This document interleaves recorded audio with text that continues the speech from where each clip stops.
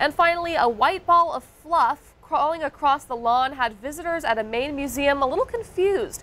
This is what they saw. At first, folks thought it might be an albino skunk or groundhog, or maybe just a lost throw pillow. But after the picture was posted to social media, the furry visitor was ID'd as a rare baby albino porcupine.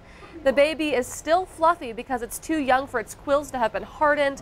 The museum is now asking for help to name the little guy. And I am just waiting, Rob. How are you going to tie this in with Top Gun? Oh, I tell you what, uh, you know, it, what I will admit right now, when I see a baby albino porcupine, Top Gun has to set aside for just a little bit because that's wow. a that's a pretty cute little critter. I know it. Yeah. So unique, and you don't think of a porcupine as being fluffy. You don't ever. You don't. You don't. And, yeah. and, and and honestly, with the with the Top Gun trailer, I think we probably talked about that enough anyway.